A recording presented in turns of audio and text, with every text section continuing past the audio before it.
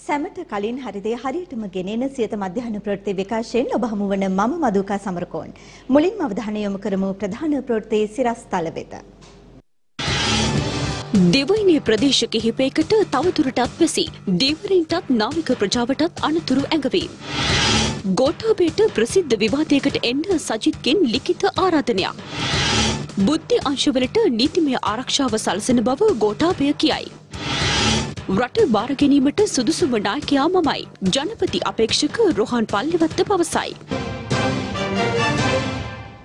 දේශීය පුවත් වෙතයි මුලින්ම අවධානය. ශ්‍රී ලංකාවට දකුණු දෙසින් නිරිත දිග බෙන්ගාලබොක්ක මුහුදු ප්‍රදේශයේ පවතින වායුගෝලයේ කැළඹිලි ස්වභාවය දකුණු මුහුදු ප්‍රදේශය හරහා දිවෙනට බටහිර දෙසින් වන මුහුදු ප්‍රදේශයට අද දිනේදී ගමන් කරන බව කාලගුණ විද්‍යා දෙපාර්තමේන්තුව පවසනවා. ශ්‍රී ලංකාවට දකුණු දෙසින් නිරත දිග බෙන්ගලබොක්ක මුහුදු ප්‍රදේශයේ පවතින වායුගෝලයේ කැළඹිලි ස්වභාවය හේතුවෙන් දිවයිනේ බොහෝ පළාත්වල මේ වන විට පවතින වැසි තත්ත්වය හෙට දින දක්වා වර්ධනය වන ලකුණු පවතින බව කාලගුණ විද්‍යා දෙපාර්තමේන්තුව පවසනවා. ඒ හේතුවෙන් දිවයිනේ බොහෝ පළාත්වල විටින් විට වැසි හෝ ගිගුරුම් සහිත වැසි ඇති විය හැකියි. උතුරු නැගෙනහිර ඌව මධ්‍යම දකුණු සහ සබරගමුව පළාත්වලත් පොළොන්නරුව දිස්ත්‍රික්කයේ ඇතැම් ස්ථානවලට තද වර්ෂාපතනයක් ඇතිවිය හැකි බවයි කාලකුඩ විද්‍යා දෙපාර්තමේන්තුව පවසන්නේ. එසේම මධ්‍යම කඳුකරේ නැගෙනහිර බැවුම් ප්‍රදේශවල සහ දකුණු සහ වයඹ පළාත්වලත් ඇතැම් ස්ථානවල සුළඟේ වේගයද ඉහළ යාමේ අවධානමක් ඇති බවයි වාර්තා වන්නේ. මේ අතර දිවයිනේ පවතින කාලගුණ තත්ත්වයක් සමගින් දෙදරුවේ ජලාශයේ වන්දරුට දෙකක්, තබ්බෝව ජලාශයේ වන්දරුට අටක් සහ අංගමෝ ජලාශයේ වන්දරුට දෙකක් තවදුරටත් විවෘත කර තිබෙනවා. එමෙන්ම නායයාමක් හේතුවෙන් අවහිර වූ බදුල්ල දිස්ත්‍රික්කයේ ඇල්ලවැල්ලවාය මාර්ගයේ 14 කණු ආසන ප්‍රදේශය තවදුරටත් අවහිරව පවතින අතර ඒ හේතුවෙන් විකල්ප මාර්ග භාවිතා කරන ලෙස පොලිසිය රියදුරන්ගෙන් ඉල්ලා සිටිනවා. මේ අතර ගාල්ල කොළඹ ප්‍රධාන මාර්ගයේ කහව සිට තෙල්වත්ත දක්වා ප්‍රදේශයට මුහුදු රළ සමග වැලි සහ අපද්‍රව්‍ය පැමිණීමෙන් මාර්ගයේ ගමනාගමනයට බාධා එළි වී ඇති බව අප වාර්තාකරුවන් සඳහන් කළා.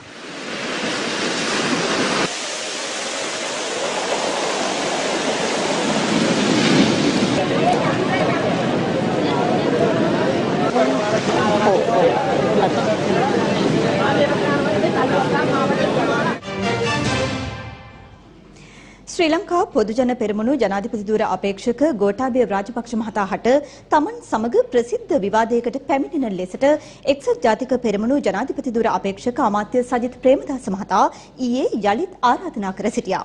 ඒ ඉදිරි ජනාධිපතිවරණය වෙනුවෙන් එක්සත් ජාතික පෙරමුණෙහි ජය තහවුරු කිරීම සඳහා කුරුණෑගල බිංගිරිය ප්‍රදේශයේදී පැවති ජන රැළියකට එක්වෙමින් එක්සත් ජාතික පෙරමුණේ ජනාධිපති ධූර අපේක්ෂක අමාත්‍ය සජිත් ප්‍රේමදාස මහතාගේ ජය තහවුරු කිරීම වෙනුවෙන් පවත්වනු ලබන ජන රැලි මාලාවේ තවත් එක් ජන රැලියක් ඊයේ පස්වරුවේ කුරුණෑගල බිංගිරිය නගරයේදී පැවැත්වුණා.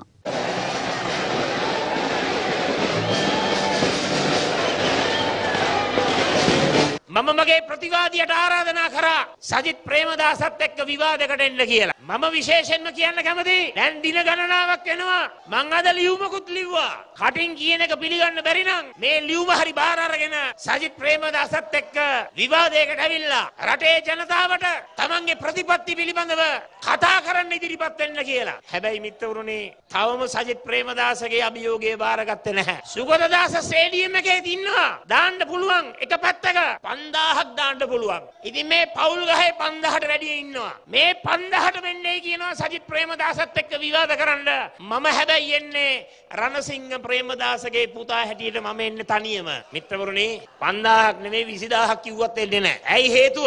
අනේ අර විදේශීය මාධ්‍යවේදීන් රණබිමේ රණවිරුවන්ගේ ක්‍රියාකාරකම ගැන ඇහුවා. අවුරුදු 10ක් මුළුල්ලේ යුද ජයග්‍රහණය සින්නක්ක රොප්පුවෙන් පවුලට ලියාගත්තා.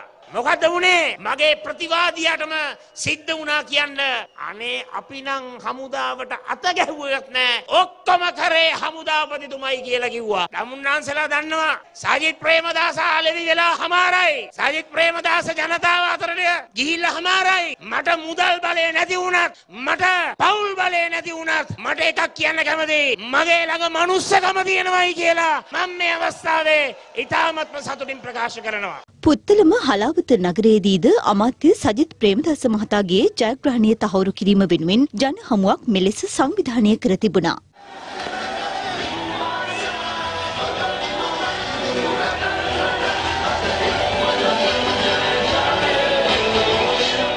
මේ පඬුවස් නුවර හෙට්ටිපොළ පොළ භූමියේදී පැවැත්වුණු ජන හමුවයි.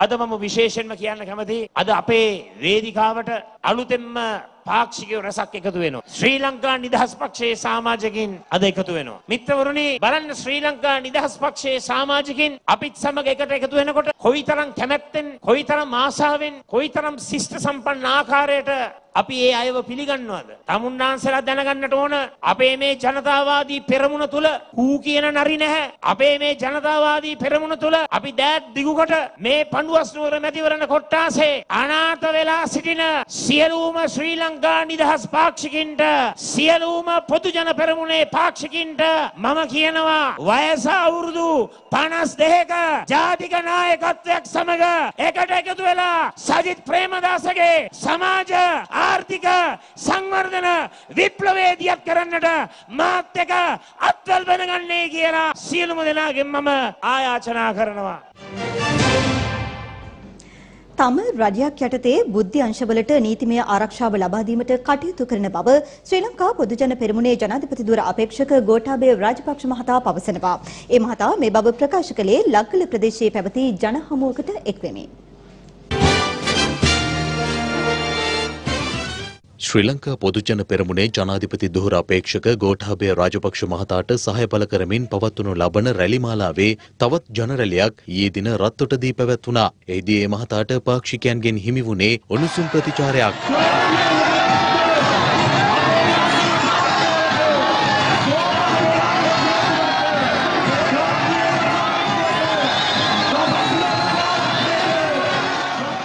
මේ අතර ගෝඨාභය රාජපක්ෂ මහතාට සහය පල කරමින් තවත් ජනරැලියක් ඊයේ දින ලක්ගලදී පැවැත්වුණා.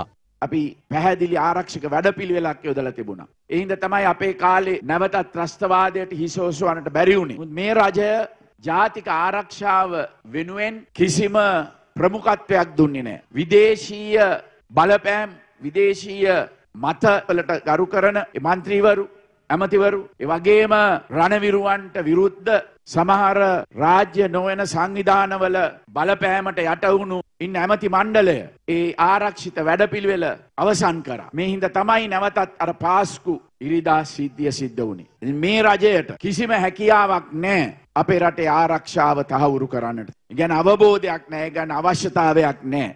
අපි අපේ රජයක් යටතේ නැවතත් ඒ රණවිරුවන්ගේ මානසිකත්වය හදලා ඒ බුද්ධි අංශවලට ක්‍රියා කරන්නට පුළුවන් වෙන ආරක්ෂාව නීතිමය ආරක්ෂාව ලබා දීලා අපි තමුන්නාන්සලාට සුරක්ෂිත රටක් ලබා දෙනවයි කියන එක අවස්ථාවරු කරනවා. ඒකයි ජනතාව අද මේ රජයට විරුද්ධව එක්රැස් වෙන්නේ. මැදිරිගිරිය ප්‍රදේශයේදීද ජනාධිපති ධූර අපේක්ෂක ගෝඨාභය රාජපක්ෂ මහතා වෙනුවෙන් තවත් ජනරැලියක් සංවිධානය කර තිබුණා.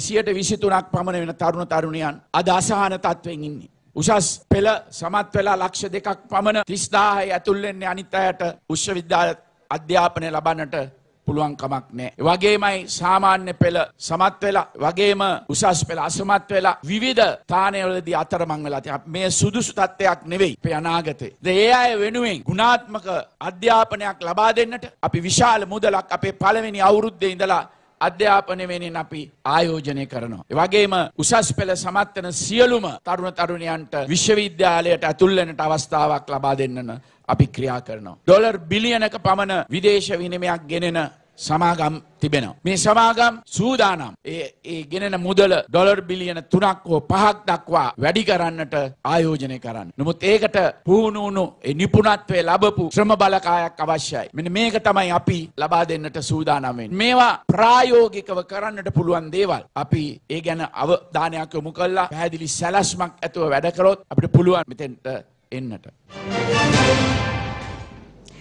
තිස් වසරක යුද්ධය නිමා කර වසර 10ක් ගතවද පාලකීන්ට ගැටුම් නොමැති රටක් නිර්මාණය කිරීමට නොහැකි වූ බව ජාතික ජනබලවේගයේ ජනාධිපති ධුර අපේක්ෂක පාර්ලිමේන්තු මන්ත්‍රී අනුර කුමාර දිසානායක මහතා පවසනවා.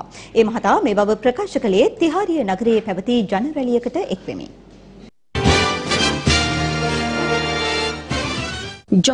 ජනබලවේගේ ජනාධිපති දුරාපේක්ෂක පාර්ලිමේන්තු මන්ත්‍රී අනුර කුමාර දිසානායක මහතාගේ ජයග්‍රහණය වෙනුවෙන් සංවිධාන කළ ජනරැලියක් තිහාරිය නගරයේදී පැවැත්වුණා. මෙම ජනරැලියට ජනතා විමුක්ති පෙරමුණ නියෝජනය කරමින් දේශපාලන නියෝජිතින් ඇතුළු පිරිසක් එක්ව සිටියා. දෙදස් නමේ යුද්ධ අවසන් වුණ. දෙදස් දහනමේ වෙනකම්වත් අඩුම තරමේ අවුරුදු දහයක් ගැටුම් නැති රටක් හදන්න බැරුණ. මොන පාලකයෝ. අවුරුදු තියක යුද්ධයක් අවසන් වෙලා.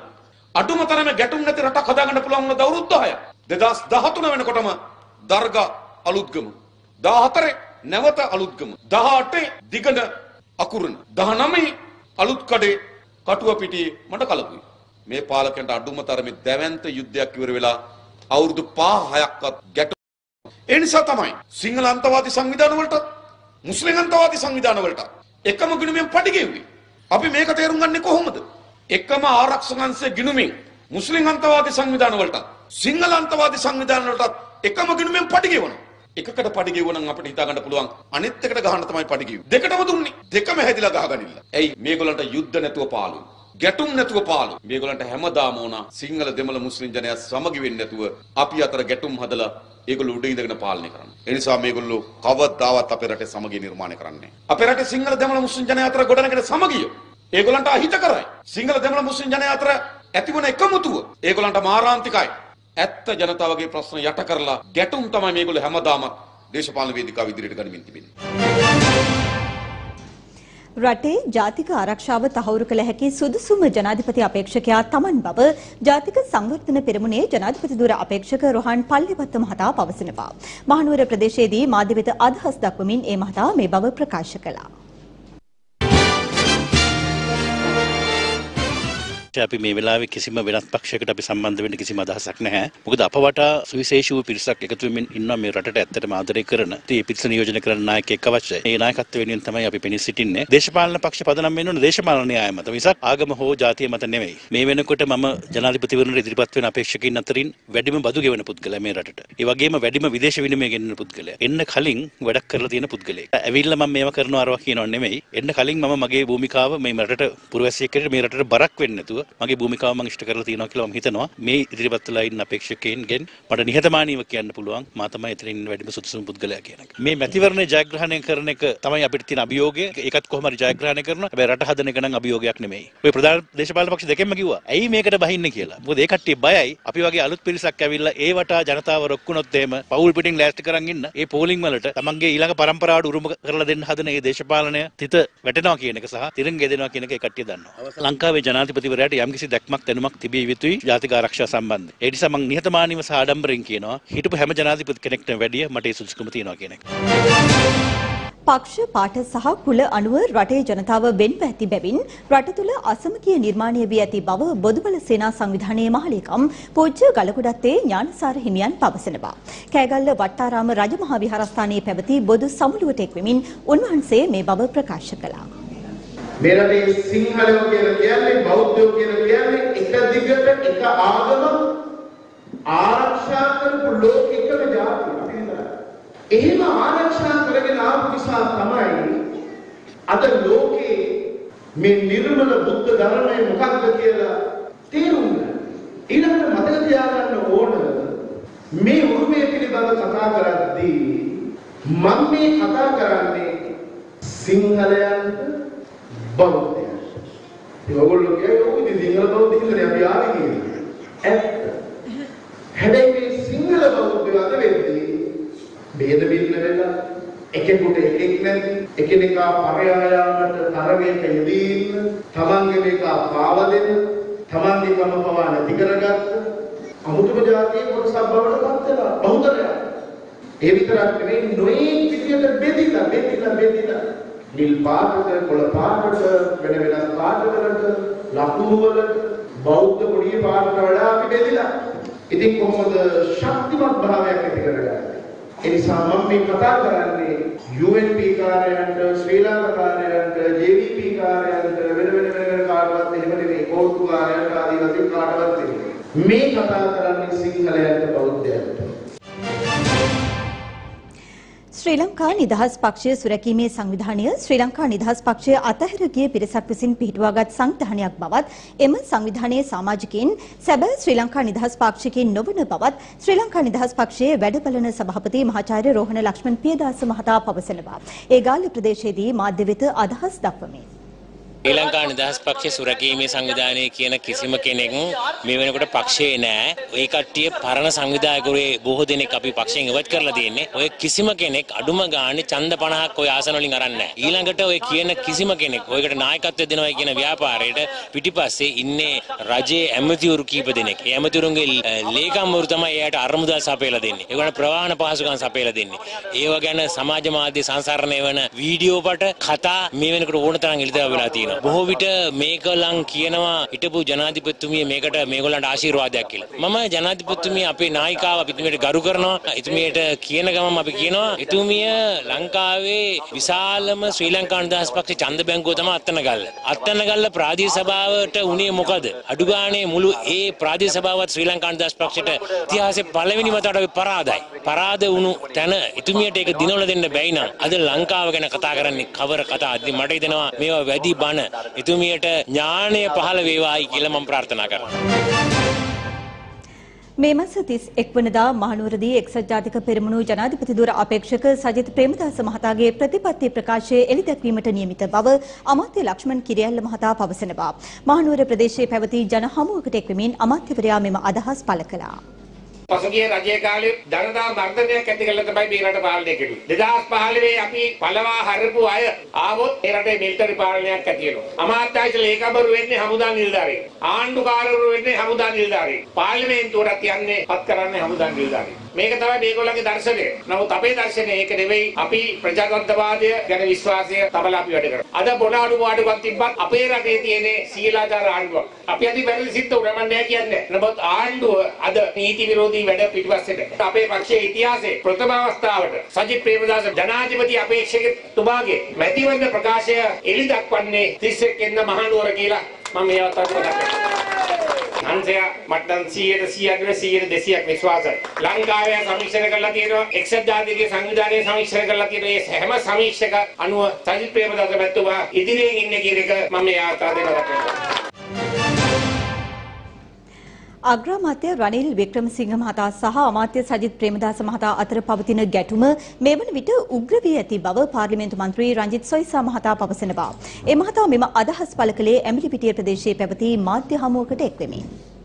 ඉතාමත්ම පැහැදිලිව එක්සත් ජාත්පක්ෂ කෝට්ටේ සංවිධායක රාජ්‍ය ඇමති හර්ෂ සිල්වා මහත්මයා කියනවා හොරකම් දූෂණ චෝදනා වංචා නැති තරුණේ අග්‍රාමාත්‍යවරයා හැටියට සජිත් ප්‍රේමදාස මහත්මයා වශයෙන් ස්ථිර වශයෙන් පත් කරනවා. අපිට නම් හිතුනේ එක කියනකොට සජිත් ප්‍රේමදාස මහත්තයා දිනොත් හර්ෂ සිල්වා මහත්තයා අගමැති වෙන්න බලාගෙන ඉන්නවා වගේ තමයි පෙනුනේ. එහෙම තමයි කිව්වේ. එහෙමනම් මේ වන විටම තීන්දුවක් ඔවුන් අරගෙන තිබෙනවා. වර්තමාන අග්‍රාමාත්‍ය රනිල් වික්‍රමසිංහ මහත්මයාට කිසිම තනතුරක් ඔහු ජයග්‍රහණය කළහොත් ඒ ආණ්ඩුව අතර නොදෙන්න ඔවුන් තීන්දුව කරලා තියෙන බවක් තමයි අපිට පෙනී යන්නේ. වගේම රනිල් වික්‍රමසිංහ මහත්මයා වේදිකාවේ තියාගෙනම දූෂිතෙන්ද හොරුන්ට වංචාකාරයන්ට මම ඉඩක් දෙන්නේ නැහැ කියලා මේ අත දික් කරන්නේ වෙන කිසි කෙනෙක් නෙවෙයි සජිත් ප්‍රේමදාස මහත්මයා කියන්නේ රනිල් වික්‍රමසිංහ මහත්මයාට. ඒ තුලින් අපිට ගම් වෙන්නේ රනිල් සජිත් කණ්ඩායමේ බරපතල ගැටුමක් දැන් එළියට ඇවිල්ලා තියෙනවා 17 වෙනිදාන් පස්සේ මේ ගැටුම එලිපිට මහපාරට පිට්ටනියට එනවා. රටේ විශාල පෙරලියක් ඇති කළ හැකි ජනපති අපේක්ෂකයා එක්සත් ජාතික පෙරමුණේ ජනාධිපති දුර අපේක්ෂක අමාත්‍ය සජිත් ප්‍රේමදාස් මහතා බව කැබිනට් නොවන අමාත්‍ය අජිත් පී පෙරේරා මහතා පවසනවා. ඒ කොළඹදී පැවති මාධ්‍ය හමුවකදී. රනිල් වික්‍රමසිංහ මහත්මයාගේ ඒ නායකත්වය අපි අගය කරනවා එතුමාගේ දර්ශනය අගය කරනවා කළ කැපවීම අගය කරනවා නමුත් මේ මැතිවරණය සඳහා දිනන්න පුළුවන් අපේක්ෂකයා මේ ජනාධිපතිවරණය අපේක්ෂකයා බවට පත් කරගන්න. මේ මැතිවරණ ව්‍යාපාරයේ අපි ලබපු විශිෂ්ටතම පියවර තමයි ඒ ගැම්ම. අරගලයක් තුලින් අපේක්ෂකත්වයට ආවේ. වෙනසක් කරන්න අපේක්ෂකත්වයට ආවේ. විශිෂ්ට සම්ප්‍රදායක් තියෙන පක්ෂයක් වුණත් විටින් විට කාලෙන් කාලයට වෙනස් වෙන්න ඕනේ. නායකත්වයේ වෙනසක් ඇති වෙන්න ඕනේ අලුත් දැක්මක් ඇති වෙන්න ඕනේ වැඩපිළිවෙල වෙනසක් ඇති වෙන්න ඕනේ. ඒ වෙනස අරන් එන්නට පුළුවන් තරමට පරිණත වෙලා ඉන්න අවුරුදු 25ක් විතර බරපතල විදියට දේශපාලනය කරලා පොඩි මිනිහා දුප්පත් මිනිහා වගේම මධ්‍යම පාන්තිකයාගේ හැඟීම දන්න සමාජ විප්ලවයක් ඇති කරන්න පුළුවන් නායකයෙක් හැටියට අපි සජිත් ප්‍රේමදාස මැතිතුමාව තේරුම් ගත්තා. ඒකයි අපි එතුමාව මේ මැතිවරණ ව්‍යාපාරයේ අපේක්ෂකයා කළේ. අපේ ජනතාව හිටියේ එදා අද අතෘප්තිමත් හැම කෙනෙක්ම අවශ්‍ය වෙලා තියෙනවා තමන්ගේ පසුම්බියට මුදල් ටිකක් හම්බ කරගන්න. ඒ සඳහා අවශ්‍ය වෙන්නේ වැදගත්ම දේ මොකද්ද? අවස්ථා හදලා දෙන එක. අවස්ථා හදලා නොදෙන ආර්ථිකයකින් අපිට සත්ව දොයිතියක වැඩක් නැහැ. උදාර දේශයක්, උදාර රටක්, අපරාජිත දේශයක් අවස්ථාව පිළිබඳ ආර්ථික අවස්ථාව පිළිබඳ තෝතැන්නක් හදන්න පුළුවන් නායකයෙක් අපිට අවුරුදු 24කට පස්සේ ඇවිල්ලා තියෙනවා. මෙන්න මේක තමයි සජිත් මේ රටට ගෙනත් දෙන දේ. ඇතැම් ප්‍රධාන ජනපති අපේක්ෂකින්ගේ වේදිකාවල සිටින්නේ විවිධ චෝදනා ලැබූ පුද්ගලයන් බව ජනතා විමුක්ති පෙරමුණේ දේශපාලන මණ්ඩල සභික වසන්ත සමරසිංහ මහතා පවසනවා. ඒ මහතා මේ බව ප්‍රකාශ කළේ ඊයේ මහනුවරදී පැවති ජන හමුවකදී. එදස් පහලවේ ජනාධිපතිවරණ වේදිකාවල තිබුණ එකක් තමයි මහින්ද රාජපක්ෂ මහත්තනම් පැරදිලත් කිව්වා. අපිට හොරකුන් හොරුන්ට දඬුවම් කරන්න බැරි වුණා. හොරුන්ගේ ෆයිල්ස් මල් ළඟ තියෙනවා. මම කරේ උන්ට හොරකම් කරන්න යන බලන් හිටපු එක. ඒ නිසා තමයි අපි පැරදුනේ කිව්වා. දැන් අපි අහනවා මෛත්‍රීපාල මහින්ද රාජපක්ෂ මහත්තයාගෙන් ගෝඨාභය රාජපක්ෂ මහත්තයාගෙන් වේදිකාවේ ඉඳන් එතුමාට පුළුවන් ද කියන්න අපි මේ රටේ හොරකම වංචාව දෝෂණය නවත්තනවා. හොරුන්ට දූෂිතයන්ට දඬුවම් දෙනවා කියලා. කියයිද? කියන්න පුළුවන් වේද කිව්වොත් එහෙනම් වේදිකාවෙන් ඔක්කොම බහලා යනවා. ඇයි? ඊයේත් දඹුල් බදුල්ල දිහා ආදෙක් බහැලා ගියා. දැක්කද? හිටපු මහමැති කෙනෙක් බහැලා ගියා. මොකද වේදිකාවේ තියාගන්න බෑ සමහරවුන්. බන්ධනාගාරේ ඉන්න ඕන හාදෝ ඉන්නේ වේදිකාවේ. ඒකයි ප්‍රශ්නේ. වේදිකාවේ ඉන්න ඔක්කොටම තියෙන නඩු. වැලිකඩ ඉන්න ඕන හාදෝ තමයි වැඩිපුර වේදිකාවේ තියන් ඉන්නේ. ඉතින් එතුමාට වේදිකාවේ කියන්න පුළුවන් ද හොරු අල්ලනවා කියලා. මෙතෙක් රට පාලනය කළ ප්‍රධාන පක්ෂ දෙකම අසාර්ථක පාලනයක් ගෙන ගිය බැවින් මෙවර ජනාධිපතිවරණයේදී ජාතික ජනබල වේගයට සහාය දැක්වීමට තීරණය කළ බව නීතිඥ ලාල් විජේනායක මහතා පවසනවා. ඒ මහනුවරදී පැවති මාධ්‍ය හමුවකට එක්වෙමින්.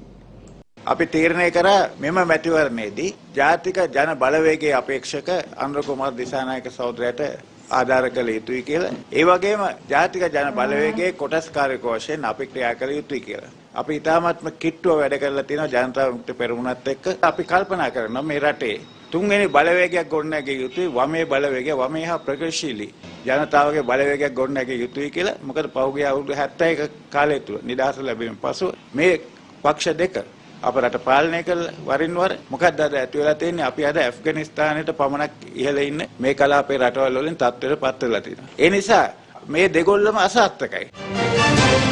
රටවට අපවත් කිහිපයක් හිටියෙන්. කටුව පිටිය දේවස්ථානයේදී පාස්කු ප්‍රහාරයට ලක්ව ජීවිතක්ෂයට පත් වූ ජනතාව සිහිපත් කරමින් වේලි ආහාර බෙදාදීමේ පින්කමක් ඊයේ කටුව පිටිය දේවස්ථානයේදී සිදු කෙරුණා. කෝට්ටේ මාදිවෙල සම්බුද්ධාලෝක විහාරස්ථානයේ විහාරාධිපති වැලිගල්ලේ ශාස්ත්‍රපති පූජ්‍ය පඤ්ඤාලෝක ස්වාමීන් වහන්සේ ඇතුළු එම විහාරස්ථානයේ දායක සභාව විසින් මෙවර කටින පින්කම වෙනුවට එම පින්කම සඳහා රැස් කරගත් මුදල් මෙම වේලි ආහාර ලබා ගැනීම වෙනුවෙන් යොදවා තිබෙනවා.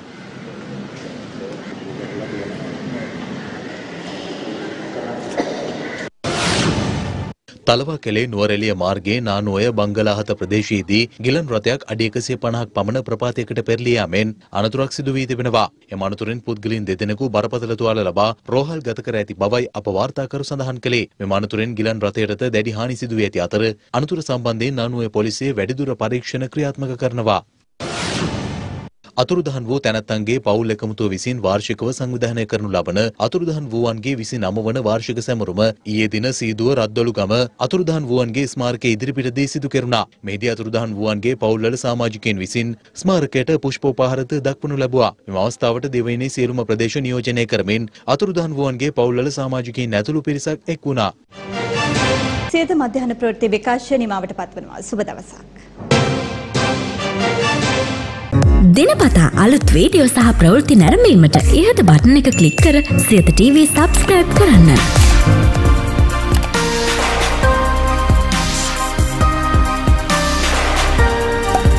අලුත් වීඩියෝ ගැන මුලින්ම දැනගන්න මෙම සීනුව ක්ලික් කරන්න.